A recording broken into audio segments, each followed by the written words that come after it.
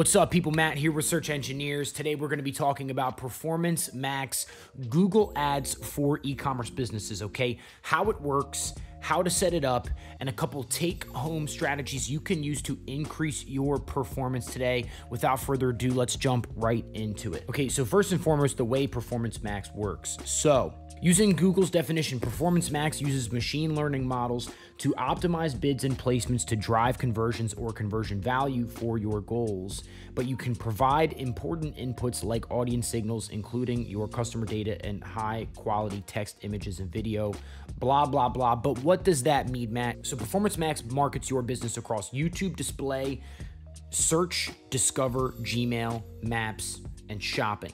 In many cases, you're not going to be using maps, and I actually think it might be deprecated right now. So it's going to market your products across all these channels. Okay, so it, in most cases, it's going to find that shopping is going to be what converts the best, but it's going to find which channel converts the best.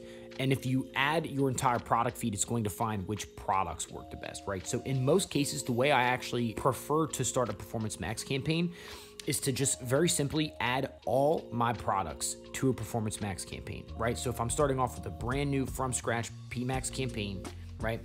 I'm gonna add all of my products to one campaign. Okay, I'm not going to break everything out into a bunch of different campaigns. This is going to give the system more conversion data to find what works the best. Okay, in my experience, this is the best way to start out. Google's going to find which channel works the best, and then by properly adding your entire product feed, it's going to find which products convert the best. So it's going to go after the low hanging fruit to start. And you might say, Matt, I have a very large feed. I have thousands of products in my feed. I can't possibly afford to spend to test all of those products to start. What should I do if all of those products don't get any traffic. So again, Performance Max is going to go after the low hanging fruit first. So let's say you have a thousand products, right? Let's say you have a thousand products. Google's likely only going to spend the bulk of that budget to about 40 or so products in the beginning because it found that those 40 products are what converted the best. Now, it might run traffic to all of those products, maybe half of them don't get any spend at all, but those top 40 products are going to get the bulk of the ad spend. Okay.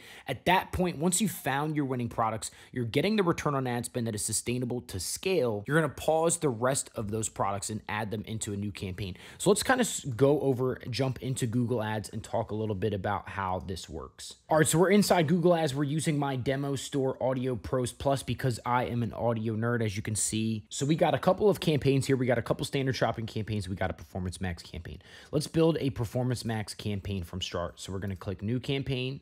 And this is, of course, already assuming that you have all of your products added to Merchant Center. You're using some sort of API feed app that, that seamlessly integrates your feed with Google, and all of that is done. Okay, so you're going to click Sales as your primary objective click continue.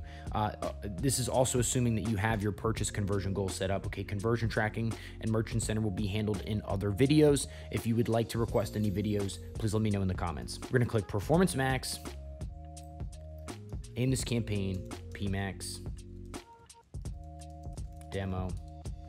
This takes us to the bidding strategy. There's a couple really important pieces of information here. So acquire so customer acquisition and bidding. So when you are when you start off with bidding there's lots of different ways to approach this.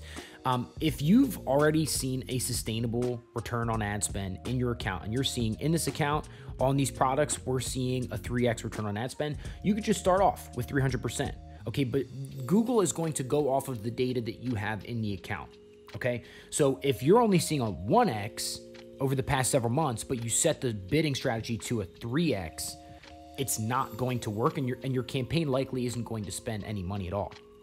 So it's better to in many cases start off with what you've seen sustainably in the account. Okay? So in this account, we haven't seen anything, so I'm not going to set a, a, bidding strategy at all, right? Because this is a new out of the box Google Ads account. I will be making separate videos going over bidding strategy in more detail. For now, I just want to cover building a Performance Max account. Customer acquisition. Do we want to optimize our campaigns for acquiring new customers? So, I'm going to explain this in the best possible way. I like to break up my e commerce clients into two overall categories, right? So, on the one hand, they are the brand, meaning they own the IP. They do not have authorized resellers. They are the business. They own the brand. Nobody else is authorized to sell their brand. Okay. On the other hand, you have authorized resellers, meaning they may sell for multiple brands. This is a bit. This is a business strategy that I've used in the past. It's a business model that I've used in the past. It's worked very, very well for my e-commerce businesses that I've built and sold. I went off of the authorized reseller model, meaning I was able to take advantage of transactional keywords from other people's brands. If you are an authorized reseller, you would never need to use a new customer acquisition bidding strategy. If you own the brand yourself, you may want to consider creating a new customer acquisition focused bidding strategy because otherwise your Performance Max campaign may actually work as a remarketing campaign unintentionally, meaning you're just kind of going over repeat customers and branded keywords, which you should break out into other campaigns. Okay. So I will cover new customer acquisition more in another video as well. If you guys have any uh, recommendations for videos you'd want me to make, just let me know. We're going to click United States, just assuming that we are in the United States. We have a couple of options here, right? So in our Performance Max campaign, right, we have our first asset group. This is a strategy you could try that may just increase your Performance Max return on ad spend this month. Okay, no guarantees, but let's give it a try. So you can actually bypass marketing on YouTube, Gmail, search, display, and discover and focus only on shopping by skipping through this campaign, clicking next. We'll add an audience signal later clicking next, set your budget, whatever you want it to be. Let's just assume 50 bucks a day. Click next, boom. PMax demo. It's gonna check for errors. I need to authenticate. Uh oh, where's my phone? Boom. So it's not necessarily the case that you don't market on any of those other channels.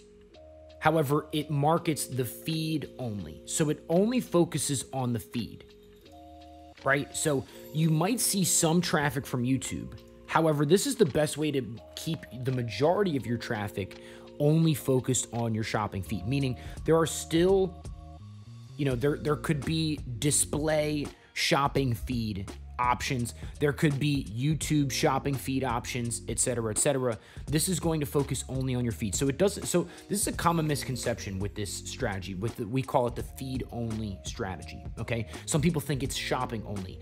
Your a majority of your traffic is going to be shopping, but there's still going to be a portion of it that's going to go to other channels marketing your feed. Okay, so we covered how it works, we covered how to set up Performance Max, and I gave you a little bit of sauce, a little bit of take home strategy that you can try to potentially increase your return on ad spend this month. Okay, so a little bit more about me, guys.